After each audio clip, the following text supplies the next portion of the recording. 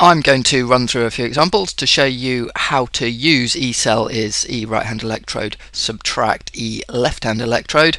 This question says find the EMF of uh, this cell which has FeFe2 plus as the left hand uh, half cell and uh, Pb2 plus Pb as the right hand half cell and the data you've been given are the electrode potentials for those two things. So writing out the formula, E cell is the right hand electrode, subtract the left hand electrode, and then we can just put in the numbers. So the right hand side is the lead there, which is um, minus 0.13.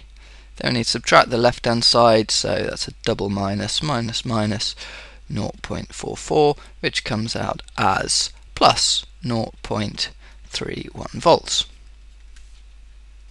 Uh, let's get uh, straight onto this similar example just to show you how straightforward a question like this is. Here we have a copper electrode uh, half cell and a magnesium half cell uh, and I'm just going to label these the left hand side and the right hand side because that's on the left and that's on the right. Uh, we're given the standard electrode potentials for those two things. I can write the formula so E cell is uh, right hand side subtract left hand side and the right hand side is magnesium which is minus 2.37 and the left hand side uh, is 0.34 so minus the 0.34 and that gives an answer of minus 2.71 volts.